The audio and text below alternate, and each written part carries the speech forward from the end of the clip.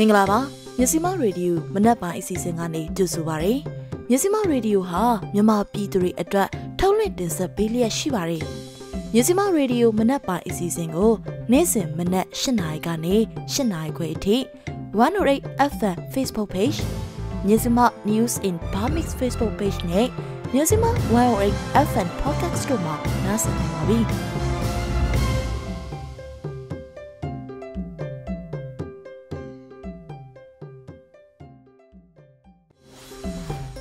င်္ဂလာပါခင်ဗျာမြန်မာနိုင်ငံသူနိုင်ငံသားအားလုံးဘေးကင်းလုံခြုံပြီးစိတ်ချမ်းသာကိုယ်ကျန်းမာရှိကြပါစေလို့မစ္စည်းမရေဒီယိုအဖွဲ့သူဖွဲ့သားတွေကဆုတောင်းမေတ္တာပို့သလိုက်ပါတယ်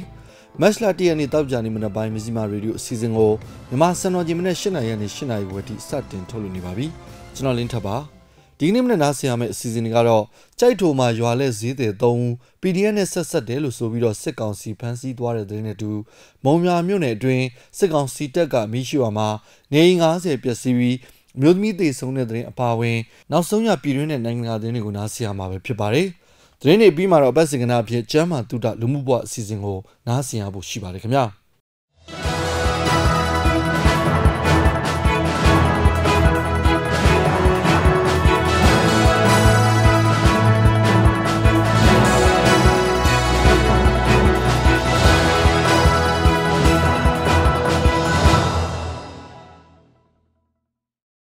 မော်မီနယ်ကြိုက်ထိုမြို့နယ်မှာရွာလက်ဈေးရောင်းတဲ့ဈေးသည်၃ဦးကိုတော်လိုင်းအရာစုတွေနဲ့ဆက်ဆက်တယ်လို့ဆိုပြီးတော့စစ်ကောင်စီကဖမ်းဆီးသွားတယ်လို့ဒေသခံတွေစီကသိရပါတယ်။သူတို့ဟာကြိုက်ထိုမြို့နယ်အတွင်းကြေးရွာအချို့မှာပုံမှန်လှည့်လည်ဈေးရောင်းလေးရှိတဲ့မြောက်ပိုင်းရက်ကွက်ငပိစစ်ပိုင်းကဈေးသည်အမျိုးသားတူနဲ့မြို့ပေါ်ကဈေးသည်ဦးတို့ကိုစစ်ကောင်စီကနေအတွင်းမှာဝင်ရောက်ဖမ်းဆီးသွားတာဖြစ်ပါတယ်။ ဖမ်းဆီးခံရတဲ့သူတွေဟာဆိုင်ငယ်နောက်မှာကုံစိမ်းကုံကြောက်တွေကိုဝါချင်းတွေနဲ့တင်ပြီးတော့မဲုံကြီးမဲုံလေးအပါအဝင်အနီးပတ်ဝန်းကျင်ကျွော်တွေဘက်ကိုလှည့်လည်ဈေးအောင်ချနေသူတွေဖြစ်ပါတယ်။အဆိုပါရွာတွေဟာ KN မျိုးသားအစည်းအရုံး KNU တပ်မှတစ်နေမြေမှာပါဝင်ပြီးအဲ့ဒီရွာတွေက KNL နဲ့ PDF တပ်ဖွဲ့ဝင်တွေကိုဈေးအောင်တယ်လို့ဆွဆွဲပြီးတော့ဈေးသည်တွေကိုစစ်ကောင်စီကဖမ်းဆီးတာလို့သိရပါတယ်။အခုဗန်စီခံရတဲ့ဈေးသည်တွေကိုဘရန်နီယာကိုခေါ်ဆောင်သွားကြောင်းနဲ့အသေးစိတ်အခြေအနေကိုမစီမအနေနဲ့ဆက်လက်စုံစမ်းနေစေပဲဖြစ်ပါတယ်။ ကြိုက်ထိုမြို့နယ်ရဲစခန်းကိုဒီကနေ့ဖေဖော်ဝါရီလ29ရက်နေ့ညနေ4:00နာရီမှာမစ္စည်းမကဖုန်းနဲ့ဆက်သွယ်မိမိရမှာတော့သူတို့အနေနဲ့ဖြေကြားခွင့်မရှိဘူးလို့ရဲတပ်ဖွဲ့ဝင်တူကမစ္စည်းမကိုပြောပါတယ်2022ခုနှစ်နဲ့2023ခုနှစ်အတွင်းမှာလည်းကြိုက်ထိုမြို့ပေါ်မှာနေထိုင်တဲ့ရွာလက်ဈေးအောင်သူအချို့ကိုလည်းတော်လိုင်းအင်အားစုတွေစီဈေးအောင်နေဆိုပြီးတော့ဆွဆွဲချက်နဲ့စစ်ကောင်စီကဖမ်းဆီးစစ်ဆေးပြီးပြန်လွှတ်ပေးခဲ့တဲ့ဖြစ်စဉ်အချို့လည်းရှိခဲ့တယ်လို့သိရပါတယ်။ မလေးရှားနိုင်ငံတွင်းမှာရှိနေတဲ့တရားမဝင်နေထိုင်လုပ်ကိုင်နေတဲ့အထောက်ထားမဲ့နိုင်ငံသားသားတွေကိုသက်ဆိုင်ရာတန်ရုံရဲ့နိုင်ငံသားဖြစ်ကြောင်းထောက်ခံချက် CI နဲ့ပြန်ခွင့်ပေးမဲ့အစီအစဉ်ကိုမတ်လကနေစတင်သွားမယ်လို့မလေးရှားအစိုးရကထုတ်ပြန်ထားပါတယ်။မလေးရှားနိုင်ငံရောက်နေတဲ့အထောက်ထားမဲ့မြန်မာနိုင်ငံသားတွေပြည်ရင်းပြန်ဖို့အတွက်မြည်သူမြည်ဝါဖြစ်ကြောင်းတသက်ခံလက်မှတ် CI ထုတ်ပေးမယ်လို့ကွာလာလမ်ပူမြို့မှာရှိတဲ့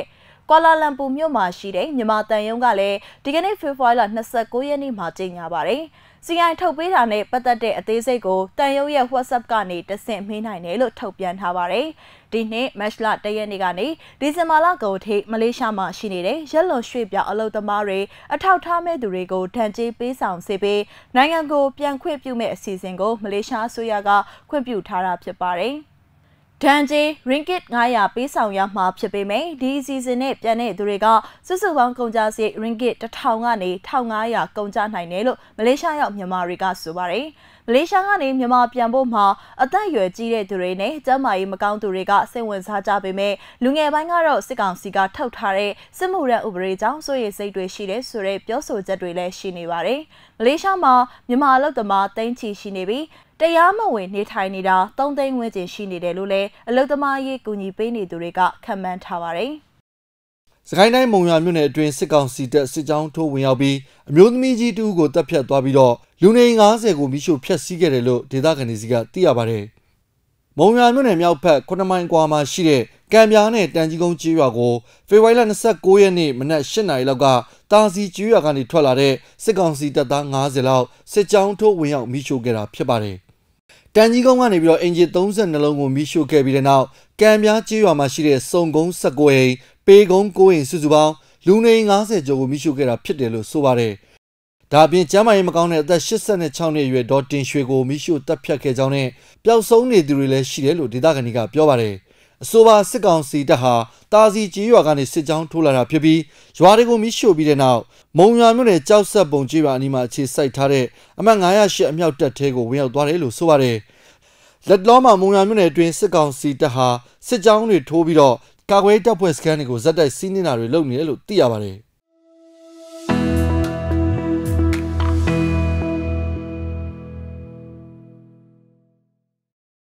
မြစီမရေဒီယိုရဲ့ကြတာပရင်းနေ့နောက်ဆုံးရပြည်ရင်းသတင်းတွေကိုဆက်လက်ထုတ်လွှင့်နေပါတယ်။တနင်္သာရီတိုင်းဒေသကြီးဒဝဲခရိုင်ဒဝဲမြို့နယ်မောင်မဲရှောင်းကြီးရွာမှာရှိတဲ့ဒဝဲနိပညာတက္ကသိုလ်ဒူးပေါမောက်ခချုပ်ဦးကျော်အောင်ပေါမောက်ခဒေါ်ဆူဆူလက်ပေါမောက်ခဒေါ်နနာလွင်တို့ကိုဖမ်းဆီးထိန်သိမ်းထားတယ်လို့ဒဝဲအခြေဆိုင်ဗထူတမရော့ကဖေဖော်ဝါရီလ28ရက်နေ့ရက်စွဲနဲ့ထုတ်ပြန်ပါတယ်။မောင်မဲရှောင်းကြီးရွာနိပညာတက္ကသိုလ်နာကဖျားမဲစစ်စေးရေးဂိတ်နဲ့ကက်လျက်ဖျားမဲဖုန်ကြီးကျောင်းမှာတက်ဆွဲနေတဲ့ကာကင်းစခန်းနဲ့ဖျားမဲစစ်ကောင်စီစစ်စေးရေးဂိတ်ကိုဖေဖော်ဝါရီလ28ရက်နေ့နေ့လယ်ပိုင်းမှာဘာထိုးတက်ကဝင်ရောက်တိုက်ခိုက်ခဲ့တယ်လို့သိရပါတယ်။အဲ့ဒီတိုက်ခိုက်မှုကနေစစ်ကောင်စီတပ်ဖွဲ့ဝင်9ယောက်သေဆုံးပြီး MA3 နှစ်လက်ကြီးပေါက်6ခု40မမ6လုံးပါဝင်စစ်သုံးပစ္စည်းတချို့ကိုရရှိတယ်လို့လည်းထုတ်ပြန်ပါတယ်။စစ်ကောင်စီထုတ်ပြန်ချက်မှာတော့ဒုတိယပုံမောက်ခချုပ်အပါအဝင်ဆရာဆရာမ3ဦးကိုပြန်လည်ကဲတင်ဖို့လှုံ့ဆော်နေတယ်လို့လည်းထုတ်ပြန်ထားပါတယ်။ ဒါအပြင်ဖျားမဲကျေးရွာနာမှာလုံခြုံရေးဆောင်ရွက်နေတဲ့တပ်ဖွဲ့ဝင်တွေကို PDF တွေကလက်နက်ကြီးလက်နက်ငယ်တွေနဲ့ပစ်ခတ်တိုက်ခိုက်တာကြောင့်တိုက်ပွဲဖြစ်ပွားပြီးတဲ့နောက်တက္ကသိုလ်အတွင်းဝင်ရောက်ပြီးတော့ဒုတိယပမောက္ခချုပ်ဒေါက်တာကျော်အောင်ပါဝင်၃ကိုအရင်အရမဖမ်းဆီးခေါ်ဆောင်ပြီးကြောင်ရဲ့အနောက်ဘက်ကိုစုတ်ခွာထွက်ပြေးသွားခဲ့တယ်လို့ဖော်ပြထားပါတယ်။ တနင်္သာရီတိုင်းဒေသရင်းသတင်းဌာနမှာတော့ဘာထိုးတက်မတော်ရဲ့ပြောရေးဆိုခွင့်ရှိသူကစစ်ကြိုပညာရေးကိုဆက်လက်အသက်သွင်းနေတာကြောင့်အခုလိုဖမ်းဆီးရတာလို့ဆိုထားပြီးဤပညာတက္ကသိုလ်ကျောင်းထဲမှာတော့ဆရာဆရာမတွေအများကြီးရှိပေမဲ့အချိန်အတိုင်းတာရအဓိကကျတဲ့လူ၃ယောက်ကိုပဲဖမ်းလာခဲ့တာလို့ဖြေဆိုထားတာကိုတွေ့ရပါတယ်။ ပြီးခဲ့တဲ့နှစ်ဇူလိုင်လကလည်းလောင်းလုံးမြို့နယ်မှာရှိနေတဲ့ဒဝဲစိုက်ပျိုးရေးသိပ္ပံကျောင်းကကျောင်းဆရာမကြီးအပါအဝင်ဆရာနဲ့ဆရာမ6ဦးကိုလောင်းလုံးပကဖကဖမ်းဆီးခဲ့ပူပါတယ်။အဲဒီနောက်မှာတော့ဆရာဆရာမတွေဘက်ကစီရီယံဝင်ဖို့သဘောတူတာကြောင့်လွတ်မြောက်နေမြေကိုပို့ဆောင်လိုက်တယ်လို့လောင်းလုံးပကဖကပြန်လည်ထုတ်ပြန်ခဲ့တာကိုတွေ့ရပါတယ်ရှင်။ 2023ခုနှစ်တနှစ်အတွင်းဂျပန်ရောက်မြန်မာလူမျိုးတွေကြားငွေကြေးလိမ်လည်မှုပေါင်း40ဝန်းကျင်နဲ့ရာဇဝတ်မှုကြီး6ခုထပ်မံဖြစ်ပွားခဲ့တယ်လို့မြန်မာနိုင်ငံသားလူသမားတမကများအဖွဲ့ချုပ်ဂျပန် FWUBC မှဥက္ကဋ္ဌဦးမြင့်ဆွေကပြောပါတယ်။အဆိုပါအချက်လက်ဟာ FWUBC မှလိုင်းလံဖြည့်ရှင်းပေးခဲ့ရတဲ့အမှုတွေနဲ့လာရောက်တိုင်ကြားထားတဲ့အမှုတွေသာဖြစ်ပြီးတော့အခုထက်ပိုများနိုင်တယ်လို့လည်းဆိုပါတယ်။ငွေကြေးလိမ်လည်တာတွေဟာ ဂျပန်မှာရှိတဲ့လူနှုတ်ကနေဂျပန်ယန်းနဲ့မြန်မာငွေလဲလေတဲ့အခါဂျားတွေကလူတယောက်ကဝင်ရောက်လဲလေတာလုပ်ပြီးတော့ဂျပန်ဘက်ကမြန်မာငွေပြန်ပေးတဲ့အခါမှာတော့အဲ့ဂျားတွေကလူကငွေကိုယူလိုက်တာပဲဖြစ်ပါတယ်အဲ့ခါဂျပန်ယန်းပေးလိုက်ပြီးမြန်မာငွေပြန်မရတဲ့သူနဲ့ဂျပန်ယန်းကိုယူပြီးမြန်မာငွေပြန်လဲပေးလိုက်ပေမဲ့လည်းတစ်ဖက်လူစီကိုငွေတိုက်ရိုက်မရောက်တဲ့အခြေအနေမျိုးကြုံနေရတာဖြစ်ပါတယ်။ဒါပေမဲ့အဲ့ဒီမှုတွေဟာဂျားလူကလောက်တာလို့သတ်မှတ်လို့ရနိုင်တယ်လို့ ဂျားလူနှစ်ယောက်ပူးပေါင်းပြီးတော့လှုပ်ဆောင်တာမျိုးဖြစ်နိုင်တဲ့အတွက်အဲ့လိန်လည်မှုကိုတသမတ်သေးပြောရခက်တယ်လို့ဦးမြင့်ဆွေကဆိုပါတယ်။ရာဇဝတ်မှုတွေထဲမှာရန်ဖြစ်မှုခိုးမှုတွေအပြင်လူရဲမှုတွေလည်းရှိနေတယ်လို့ဦးမြင့်ဆွေကပြောပါတယ်။2023ခုနှစ်ဇွန်လပိုင်းစင်းကောက်ယူမှုအရဂျပန်နိုင်ငံမှာအလုပ်လုပ်ကိုင်နေတဲ့မြန်မာလူမျိုး9000ဝန်းကျင်ရှိတယ်လို့ဂျပန်လူဝင်မှုကြီးကြပ်ရေးယုံထုတ်ပြန်ချက်ရသိရပါတယ်။ မကွေးတိုင်းစလင်းမြို့နယ်မှာစစ်ကောင်စီရဲ့တိုက်လေရင်တစေးလေးကျစ်ပြန်တန်းချိန်ဆက်ချို့ရွေးမှုကြောင့်ပြတ်ကျသွားတယ်လို့စလင်းမြို့နယ်ပြည်သူ့ကာကွယ်ရေးတပ်ဖွဲ့စီကနေသိရပါဗျ။ဒီကနေ့ဖေဖော်ဝါရီလ29ရက်နေ့မော်လွယ်12နာရီမိနစ်40ဝန်းကျင်မှာစလင်းမြို့နယ်ကျိုးဝင်းရွာအနီးမှာပြတ်ကျသွားပြီးတဲ့နောက်မီးလောင်ကျွမ်းခဲ့တယ်လို့စလင်းမြို့နယ်ပကဖဘကသတင်းနဲ့ပြန်ကြားရေးတာဝန်ခံကမြစီမာကိုပြောပါဗျ။မကွေးလေတပ်ကနေလာတာစမ်းသက်ပြန်တန်းရင်ဆက်အရာပြတ်ကျတယ်လို့သိရတယ်။ လေရင်မှုနှစ်ဦးကစက်အရာတက်ခရဲကလေထီးနဲ့ခုန်ထွက်သွားတယ်လို့သိထားတယ်ဆိုပြီးပြောပါတယ်။လေရင်ပြတ်ကျခဲ့တဲ့နေရာဟာစလေးမြို့နယ်အခြေစိုက်တပ်တွေဖြစ်တဲ့ခလာရ253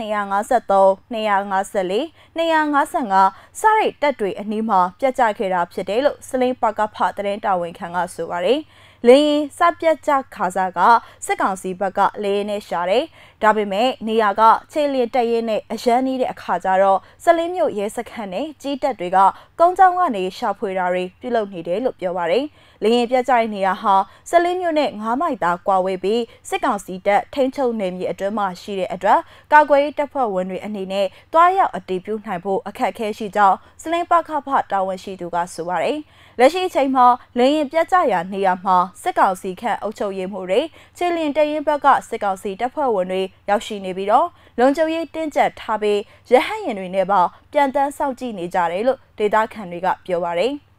ပြီးခဲ့တဲ့ဇန်နဝါရီလကဈေးနှုန်းကျဆင်းခဲ့တဲ့ကြက်သွန်ဒီဈေးနှုန်းဟာလက်ရှိအချိန်မှာတော့တပိတ်သားကို4000ကျပ်နီးပါးအထိမြင့်တက်လာနေပါတယ်။လက်ရှိကြက်သွန်ဒီဟာဈေးကွက်အတွင်းအဝင်နေနေပေမဲ့လည်းအယောင်းဝယ်သက်ပြီးဈေးနှုန်းမြင့်တက်နေတာဖြစ်တယ်လို့သိရပါတယ်။ကြက်သွန်ဒီဈေးနှုန်းအနေနဲ့ရန်ကုန်ပြည်အောင်ကုန်စည်တိုင်းဈေးကွက်အတွင်းမှာအမျိုးအစားလိုက်တပိတ်သားကိုကျပ်2000ကနေ4000ကျပ်အထိရှိရလို့သိရပါတယ်။အခုလိုကြက်သွန်ဒီဈေးနှုန်းမြင့်တက်ရခြင်းဟာ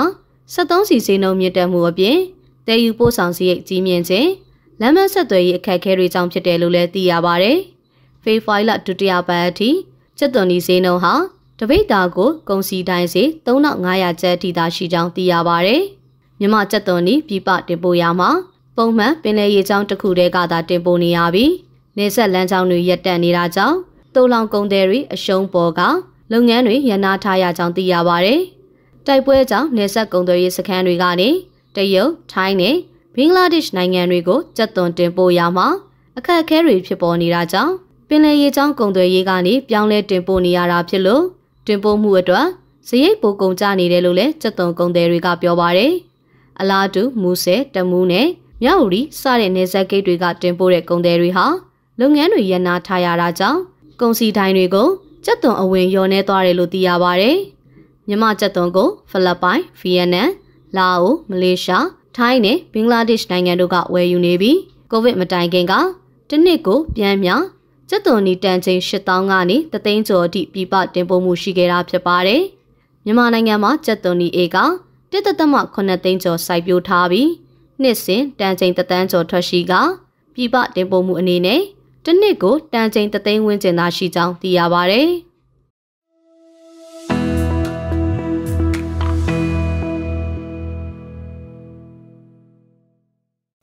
နောက်ဆုံးရပြည်တွင်းသတင်းတွေကိုတင်ဆက်ပေးရတာပဲဖြစ်ပါတယ်ဆက်လက်ပြီးပြည်တွင်းသတင်းလွှာတွေနဲ့အပတ်စဉ်ကဏ္ဍတွေကိုနားဆင်ရဖို့ရှိပါသေးတယ်ခုတော့နောက်ဆုံးရနိုင်ငံတကာသတင်းတွေကိုနားဆင်ရမှာပါ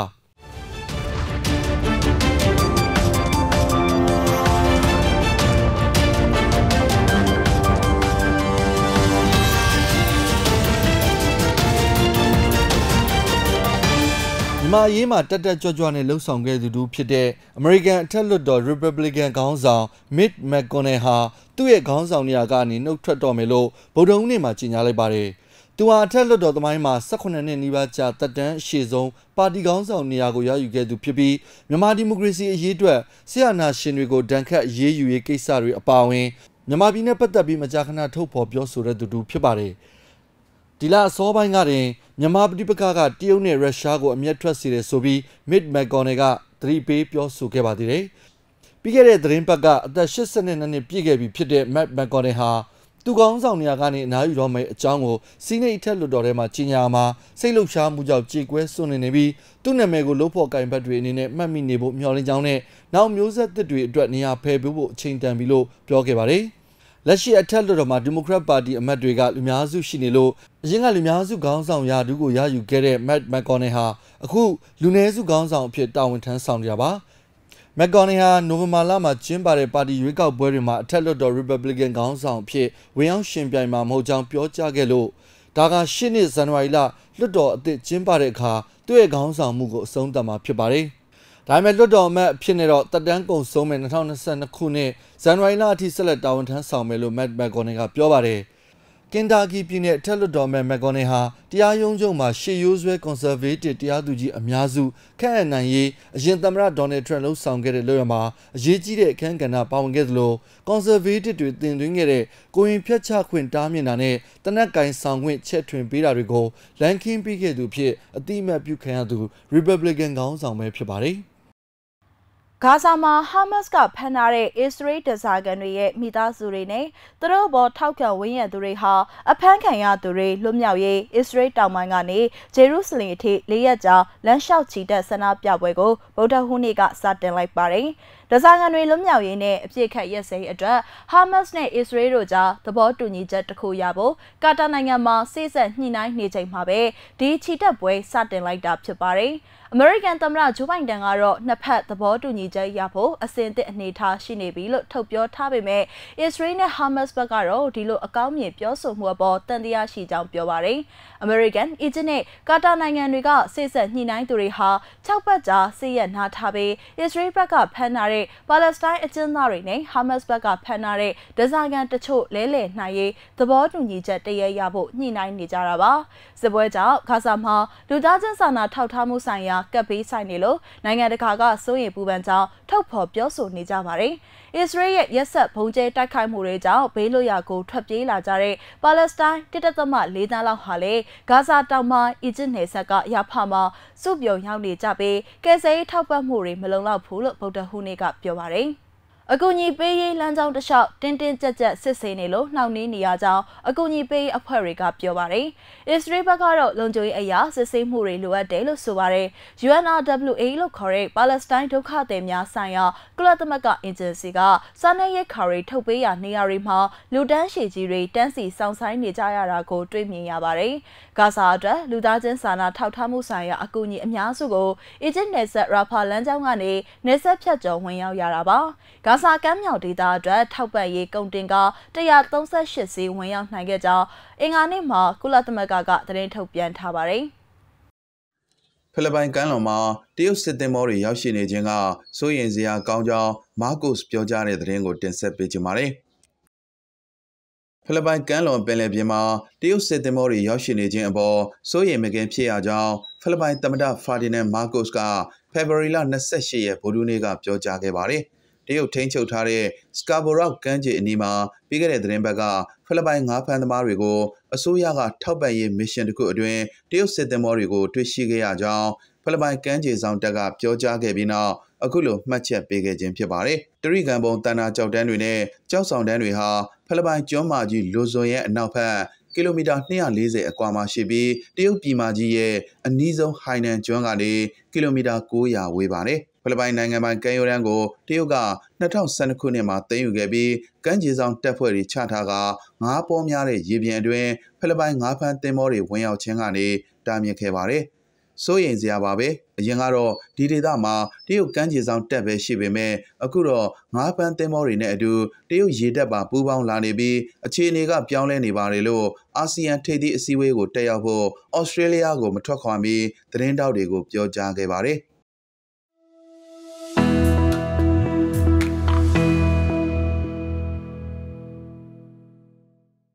မီဇီမာရေဒီယိုတောက်ကြနေမနက်ပိုင်းနိုင်ငံတကာသတင်းတွေကိုနားဆင်ကြကြတာပါ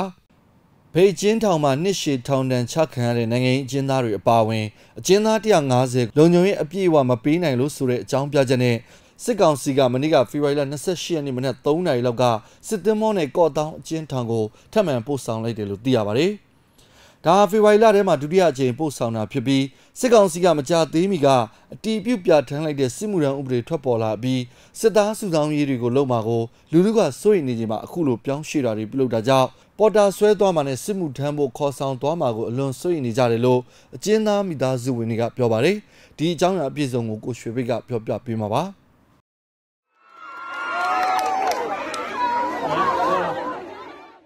တနင်္သာရီတိုင်းမြေအကျဉ်းတောင်ကနိုင်ငံရေးကျင်းသားတွေအပါအဝင်အကျဉ်းသားအကျဉ်းသူ150ဦးကိုလုံခြုံရေးအပြည့်အဝမပေးနိုင်လို့ဆိုတဲ့အကြောင်းပြချက်နဲ့စစ်ကောင်စီကဒီကနေ့ဖေဖော်ဝါရီ28ရက်နေ့မနေ့3နာရီအာရုံတိတ်ချိန်မှာစစ်သည်ပိုးနဲ့ ကောသောအကျဉ်းထောင်ကိုထပ်မံပို့ဆောင်လိုက်တယ်လို့အကျဉ်းသားမိသားစုဝင်တွေထောင်နဲ့နှိစက်တဲ့ဝန်ထမ်းတွေစီကသိရပါတယ်။မြေအကျဉ်းထောင်ကနေကောသောအကျဉ်းထောင်ကိုပို့ဆောင်နေတာဟာအခုဖေဖော်ဝါရီလထဲမှာဒုတိယအကြိမ်ဖြစ်ပါတယ်။နှစ်ရှိထောင်နဲ့ကြားခံထားရတဲ့နိုင်ငံရေးကျင်းသားတွေအပြင်မူရစီဝမှုတွေ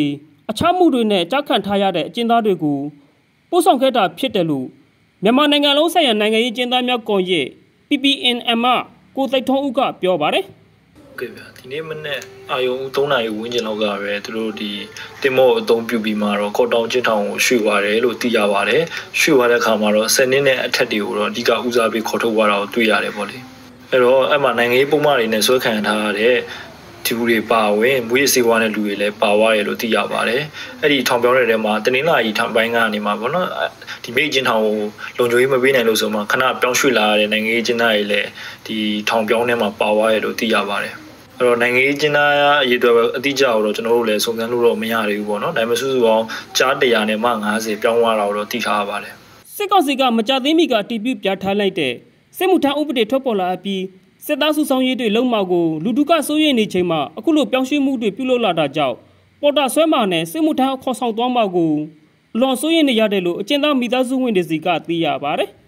အခုတကောက်ကျင်းသားကျင်းသူ150ဦးကိုကော်တောင်အကျဉ်းထောင်သို့ပြောင်းရွှေ့မှုပြုလုပ်ခဲ့တာဟုတ်မဟုတ်နဲ့အသေးစိတ်ချင်းတွေကိုသိနိုင်ဖို့မြေကျင်းထောင်ကတောင်ဝန်ရှိသူကိုမြစီမကဖုန်းနဲ့ဆက်သွယ်မြင်မြတ်ခဲ့ရမှာပြောပိုက်ခွင့်မရှိဘူးလို့ဆိုပါတယ်။အဲကြပါဗျာလုံးကြီး။ဟောဟုတ်ကဲ့ပြောပြော။ အဲကျွန်တော်အဲ့ဒါတော့ပြောပိုက်ခွင့်မရှိလို့ဟုတ်လားနော်။အဲ့ဒါနှုတ်ဝတ်ထားတယ်ပေါ့နော်။ဆက်တော့မှဟောထောင်မဲထုတ်ပြန်လိုက်တယ်နော်။ကျေးဇူးပါကျေးဇူးပါခင်ဗျာ။ဟုတ်ကဲ့ကျေးဇူးပါ။ပြီးခဲ့တဲ့ဖေဖော်ဝါရီ14ရက်နေ့ကလည်းမြေကျင်းတောင်ကအကျဉ်းသားကျစ်သူ300နီးပါးကိုကော်တောင်အကျဉ်းထောင်နဲ့မလွယ်မြေမှာရှိတဲ့အထောင်တွေစီကိုပြောင်းရွှေ့ခဲ့သေးတယ်လို့လည်းကျင်းသားမိသားစုဝင်ချို့ကပြောပါတယ်အကျဉ်းသားတွေကိုမပြောင်းရွှေ့ခင်မှာတွေ့ခွင့်ရဖို့မြွန်လဲခဲ့ပြီးမြဲအဲ့တွေ့ခွင့်မပေးခဲ့ဘူးလို့လည်းကျင်းသားမိသားစုဝင်တွေစီကသိရပါတယ်ခင်ဗျာ မြစီမရေဒီယိုဟာမြန်မာပြည်သူတွေအတွက်ထုတ်လွှင့်တင်ဆက်ပေးလျက်ရှိပါတယ်မြစီမရေဒီယိုမနက်ပိုင်းအစီအစဉ်ကိုနေ့စဉ်မနက်၈နာရီကနေ၈နာရီခွဲအထိ108 FM Facebook Page မြစီမ News in Bamix Facebook Page နဲ့မြစီမ108 FM Podcast တို့မှာနားဆင်နိုင်ပါပြီ။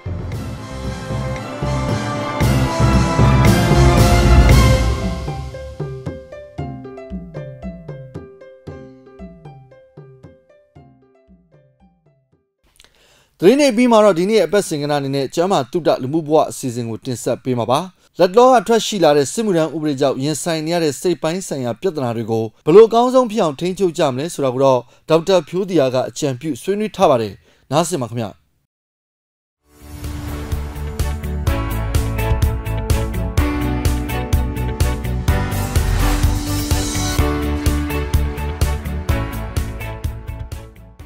ပရိသတ်များအားလုံးပဲမင်္ဂလာပါရှင်။ကျမတုဒလူမှုဘဝအစီအစဉ်ကနေကြိုဆိုလိုက်ပါတယ်။ဒီတစ်ပတ်အစီအစဉ်မှာတော့ယခုလက်တလုံးမှာထုတ်ပြန်ထားတဲ့စစ်မှုရန်ဥပဒေကြောင့်ဒီပြည်ရင်းထဲမှာဖြစ်များနေတဲ့စိုးရင်ပူပန်မှုတွေနဲ့ပတ်သက်ပြီးတော့ဒေါက်တာဖြိုးတီဟာနဲ့ဒူဆွေးနွေးတင်ဆက်သွားမှာပဲဖြစ်ပါတယ်ရှင်။ဆရာကြီးမင်္ဂလာပါရှင်။ဟုတ်ကဲ့မင်္ဂလာပါညီမကြီး ဟုတ်ကဲ့ပါဆရာဟိုဆွဆွအမှုပြောသွားသလိုပေါ့နော်အခုဒီတပိုင်းမှာကြတော့လက်တလုံးမှာထုတ်ပြန်ထားတဲ့ဒီစစ်မှုရန်ဥပဒေကြောင့်ပြည်တွင်းမှာဆိုလို့ရှိရင်အမျိုးသားရောအမျိုးသမီးရောကအခုချိန်မှာဒီစိုးရင်ပူပန်စိတ်တွေရှိတယ်ပေါ့နော်ဆရာအဲ့တော့ဒီစိုးရင်ပူပန်စိတ်တွေနဲ့တို့ဘယ်လိုမျိုးနေထိုင်နေရတဲ့အပေါ်မှာဘယ်လိုမျိုးဟိုကိုယ်စိတ်ကိုအကောင်းဆုံးဖြစ်အောင်ပြုပြင်နေထိုင်သွားလို့ရမလဲဘယ်လိုမျိုးတွေးပြီးနေသွားလို့ရမလဲဆိုတော့ဆရာကအချင်းချင်းလေးပြောပြပေးပါအောင်ရှင်ဟုတ် အဲဒီကျန်းဖက်စစ်တပ်ကဒီအတင်းအဓမ္မစစ်သားစုတောင်းကိုစူးစမ်းတဲ့ကိစ္စကပေါ့နော်ဒီပြည်တွင်းမှာရှိတဲ့ပြည်သူတွေမှမဟုတ်ဘူးပေါ့နော်အားလုံးကိုစိတ်ထိခိုက်စေတယ်ပေါ့နော်အဲ့တော့အာ passport ရုံးတွေမှာဘယ်လိုတွေလူတွေများတယ်ဘယ်လိုလူတွေပြီးပြီးတော့မှဘယ်လိုတွေဘယ်နှယောက်တည်သွားတယ်စသဖြင့်ဒါတွေကြားရတဲ့အခါမှာ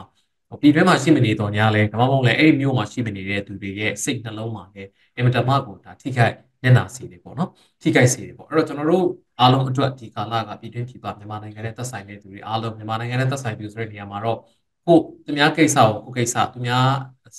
စိတ်စင်ရဲမှုကိုကိုစိတ်စင်ရဲမှုမောထားနေတဲ့လူတွေပေါ့လေနော်အဲ့တော့အဲ့လိုလူတွေအကုန်လုံးအတွက်ကိုတော့တော့ကတော့ဒီမတမကိုစိတ်ညစ်လို့စရာကောင်းတဲ့ကာလလို့ပြောလို့ရတယ်တစ်ဖက်ကလည်းမရေရာမသေးကြမှုအရာအလုံးကြီးက ပျက်စီးသွားတဲ့အခြေအနေမျိုးကြီးကိုလည်းကြုံနေရတယ်နော်ဆိုတော့အဲ့လိုအခြေအနေမျိုးမှာကိုဘာလုပ်မလဲကိုဘယ်လိုရင်ဆိုင်မလဲကိုဘယ်လိုတုံ့ပြန်မလဲနော်ဆိုလို့ရှိရင်ပထမတစ်ချက်ကျွန်တော်တို့အကြံပြုချင်တာကတော့စိတ်ကိုတည်တည်နေနေထားပါနော်ဒီလိုပြောရတာကြီးကအရန်ခက်တယ်ဆိုတော့ဟိုဒီလောက်ပင်ပန်းနေတဲ့ဒီလောက်ခက်ခဲနေတဲ့လူတွေကဘယ်လိုလုပ်စိတ်ကိုတည်နေအောင်ထားနိုင်မလဲဒီလိုတော့လည်းဟိုပြောစရာရှိတယ်နော်သို့တော်လည်းစိတ်လွန်စိတ်ခံစားမှုလွန်ကဲနေနော် panic အရန်ဖြစ်နေရင်ချလိုက်တဲ့လှုပ်လိုက်တဲ့ decision တွေကလွဲသွားတတ်တယ်ဥပမာထားပါတော့ကိုက တော်လိုင်းရေးတဲ့ပါမယ်လို့ကိုစိတ်တွေတအားတက်ကြွပြီးတော့ပါမယ်လို့စိတ်ကူးလိုက်ရင်တော့တကယ်တကယ်မလွယ်ပါဘူးတော်လိုင်းရေးတပ်ဖွဲ့တစ်ခုတွေဝင်နေဆိုတဲ့ကိစ္စပေါ့နော်မျိုးစုံသောချုပ်တီးမှုတွေမျိုးစုံသောခက်ခဲကြမ်းတမ်းမှုတွေကိုစိတ်ကူးတော်မြင်ထားမှုတွေတွေးမထားမှုတွေအရာတွေဖြစ်လာနိုင်ပါတယ်ပေါ့နော်ဒါရီတော့ကိုကိုအစင်းသင်းဖြစ်သလားဒါကိုကဟိုစဉ်းစားဖို့လိုအပ်တာပေါ့နော်ဒါတော်လိုင်းရေးဖွဲ့တွေဝင်မယ်ဆိုရင်အဲ့လိုမဟုတ်ဘူးလွတ်မြောက်နေပြီးသွားမယ်ဆိုလဲဆိုင်ရာဆိုင်ရာခက်ခဲတွေရှိတယ်လို့နောက်ဆုံးဒီနိုင်ငံခြားထွက်မယ်ဆိုရင်တော့မှပေါ့နော်နိုင်ငံခြားထွက်ဖို့ဆိုပြီးတော့ကိုကအရန်ကိုမှ စိတ်အားထက်သန်လိုက်တဲ့အခါမှာလူလိမ်နေနဲ့တွေ့သွားတာမျိုးเนาะအဲ့တော့ကိုငကိုကမိသားစုစုထားဆောင်းထားတာနေတွေပါပါသွားရင်တပူပေါ်နှစ်ပူဆက်ဘူးလေးရဖယုံဆက်ဖြစ်သွားနိုင်တယ်ပေါ့နော်အဲ့ကနေမှတစ်ဆက်လူကုန်ကူးခံရတာမျိုးဆိုရင်ဒါအဆိုးဆုံးထိတောင်ဖြစ်သွားနိုင်တယ်ပေါ့နော်ဒါကြောင့်မလို့ကျွန်တော်တို့ပြောတာကဟိုဘာမှမလုပ်ပဲအကောင့်မြင်ပြီးတော့ထိုင်နေဖို့လည်းပြောတာမဟုတ်ဘူးသို့တော်လည်းအရင်လည်းအဲစိုးရိမ်လွန်ကဲမှုစိုးရိမ်ပူပန်မှုတွေလွန်ကဲပြီးတော့မှလွဲမားတဲ့ decision တွေလည်းမချမိစေချင်ဘူးပေါ့နော်ဒါကြောင့်တတ်နိုင်သမျှကိုကိုကို အာစိတ်ကလေးကိုတည်ငြိမ်အောင်ထားပါတည်ငြိမ်ပြီးသွားပြီဆိုမှနောက်တစ်ဆင့်အနေနဲ့ကိုယ့်ရဲ့ reality ကို check လုပ်ပါကိုယ့်ရဲ့အရှိတရားကိုပြန်ပြီးတော့စမ်းစစ်ကြည့်ပါပေါ့နော်ဆိုလိုတာကဟို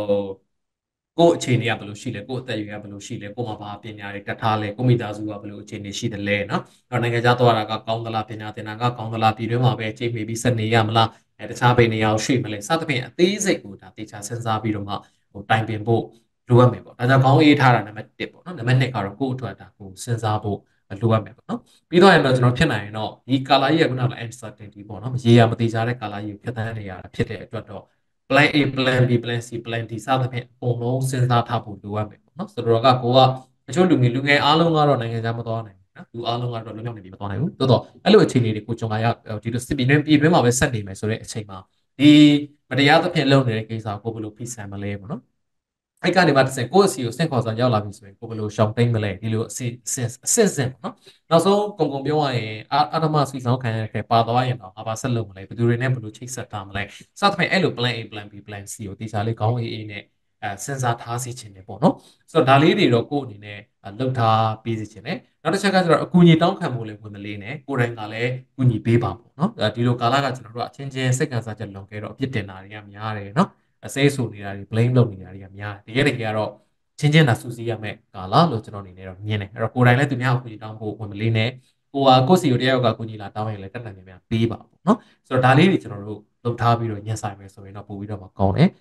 နောက်တစ်ပိုင်းကတော့ဒီစိတ်ပိုင်းဆိုင်ရာနဲ့ပတ်သက်တဲ့ကိစ္စပေါ့နော်အဲ့ဒါလေးတွေကိုလည်းကိုကိုကိုလည်း view site စီခြင်းတယ်ပေါ့နော်ပြီးအဲ့တော့ကိုလည်းလေ့ကျင့်ခန်းလုပ်တာတော့နော်ကိုကိုကိုကျင်နာမူလေးထားပြီးတော့မှနော်အာတရားနာတာတော့တရားထိုင်တာတော့ဒါမှမဟုတ်လည်း ဒီဒီဒီအာလမ်းလျှောက်တာတော့နော်ကိုစိတ်ချမ်းသာမဲ့အလုပ်ကလေးတွေကိုအတွက်စိတ်ထွက်ပေါ်ရစေမဲ့အလုပ်ကလေးတွေကိုလည်းလှုပ်ဆောင်စီခြင်းတယ်ဘာလို့ဆိုစိတ်ပင်ပန်းစရာတွေကအများများတော့နော်ပြီးတော့တဲ့ခါကျတော့ဒီတရင်အချက်လက်တွေကနော်အကြံပြုချက်တွေကနဲလို့ရင်လည်းမကောင်းမရရင်လည်းဘာလို့လဲလုံးအောင်မသိအဲ့တစ်ဖက်ကများလို့ရင်လည်းမကောင်းနော်များလို့တော့ဝေဝါးလာတတ်တယ်စိတ်တည်ညူးလာတတ်တယ်ပေါ့နော်အဲ့တော့ဒီအကြံပြုချက်တွေကတစ်ခုနဲ့တစ်ခုဆန့်ကျင်နေရတယ်လည်းရှိတယ်တရင်ချက်လက်တွေကလည်းအတကူကဘလို့ပေါ့တကူတကူကအာ ပေါ်တာတွေဆွဲခံနေရပြီပေါ့တကူကလည်းအဲ့ဒါသတင်းတူပါပေါ့စသဖြင့်ဒီလိုတွေပြောနေတော့ကိုယ့်အတွက်ကအရန်ကိုညင်ညူးလာတဲ့အခါမှာဒါတလီမှာ social media short ပြီးတော့သုံးတာလေးတွေလည်းလုပ်သိရင်လုပ်လို့ရတယ်လေဆိုတော့ဒါလေးတွေကျွန်တော်တို့လွတ်ဆောင်စီချင်ပါတယ်ပေါ့နော်အဲနောက်ဆုံးတစ်ချက်ကျွန်တော်ပြောချင်တာကတော့ကျွန်တော်ဒီကာလ၃နှစ်လုံးလုံးပေါ့နော်ကျွန်တော်တို့လည်းဟိုကျင့်သုံးခဲ့တဲ့အရာတစ်ခုကတော့ဘာလဲဆိုတော့ focus on the things you can control ပေါ့နော် maintain ချုပ်လို့ရတဲ့အရာဘာရှိလဲပေါ့အဲ့ဒါကိုကျွန်တော်တို့အာရုံစိုက်ဖို့ လိုအပ်မယ်ပေါ့လေနော်အဲ့တော့ကျွန်တော်တို့အခုဒီကာလကြီးဒီဖြစ်စဉ်ကြီးကိုရက်တန့်သွားအောင်ကျွန်တော်ဘလို့မှမလုပ်နိုင်ကျွန်တော်တယောက်တည်းအားနဲ့ဘလို့မှမလုပ်နိုင်နော်ခုနလူငယ်ပေါင်းများစွာအာခက်ခဲနေကြတဲ့ဒုက္ခရောက်နေကြတဲ့ကိစ္စကိုလည်းကျွန်တော်မဖြေရှင်းနိုင်ဘူးသို့တော့ကျွန်တော်ထိန်းချုပ်လို့ရတဲ့အရာတွေရှိတယ်အဲ့ဒါထိန်းချုပ်လို့ရတဲ့အရာလေးတွေငါငါလက်အောက်မှာဘာတွေရှိလဲငါလုပ်နိုင်တာဘာတွေရှိလဲအဲ့ဒါလေးတွေကိုကျွန်တော်အာရုံလေးစိုက်ပြီးတော့လှုပ်ဆောင်စီခြင်းတယ်ဒါက တော်လိုင်းရေးအတွက်ပဲဖြစ်ဖြစ်ကိုတကူစားလွတ်မြောက်ရေးအတွက်ပဲဖြစ်ဖြစ်ကိုမိသားစုအတွက်ပဲဖြစ်ဖြစ်နော်ဆိုတော့စသဖြင့်ကိုတင်ချုံအောင်မှာရှိတဲ့အရာလေးတွေကိုအာရုံစိုက်ပြီးတော့မှဒီလိုပြန်မှန်းခတ်ခဲ့တဲ့ကာလကိုကျော်ဖြတ်ကြပါလို့ကျွန်တော်အနေနဲ့တိုက်တွန်းချင်ပါတယ်ခင်ဗျာဟုတ်ကဲ့ပါဆရာအခုလိုမျိုးခွန်အားရှိတဲ့စကားလေးတွေကိုပြောကြားပေးတဲ့အတွက်လည်းကျေးဇူးအများကြီးတင်ပါတယ်ရှင် ဟုတ်ကဲ့ပါအခုဆိုလို့ရှိရင်လက်တလုံးမှာထုတ်ပြန်ထားတဲ့စစ်မှုတန်းဥပဒေကြောင့်အကြောင်းအရာအမျိုးမျိုးကြောင့်ဒီစိတ်ရှုပ်စရာတွေဖြစ်နေတဲ့အခိုက်အတန့်မှာဘယ်လိုမျိုးကိုယ်စိတ်ကိုပြုပြင်နေထိုင်တဲ့တလဲဆိုတဲ့အကြောင်းအရာတွေကိုဒေါက်တာပြိုတီဟာနေပြီးတော့အကြံပြုဆွေးနွေးပေးသွားတာပဲဖြစ်ပါတယ်ကြည့်ရှုအားပေးခဲ့ကြတဲ့ပရိသတ်များအားလုံးကိုကျေးဇူးအထူးပဲတင်ရှိပါတယ်ရှင်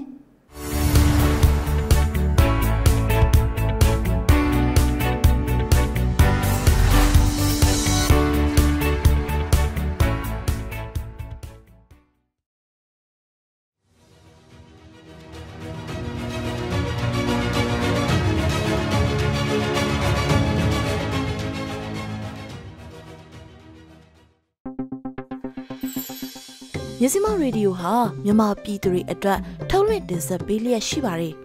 မြစီမရေဒီယိုမနက်ပိုင်းအစီအစဉ်ကိုနေ့စဉ်မနက်၈နာရီကနေ၈နာရီခွဲအထိ108 FM Facebook Page မြစီမ News in Bamix Facebook Page နဲ့မြစီမ108 FM Podcast တို့မှာနားဆင်နိုင်ပါပြီ။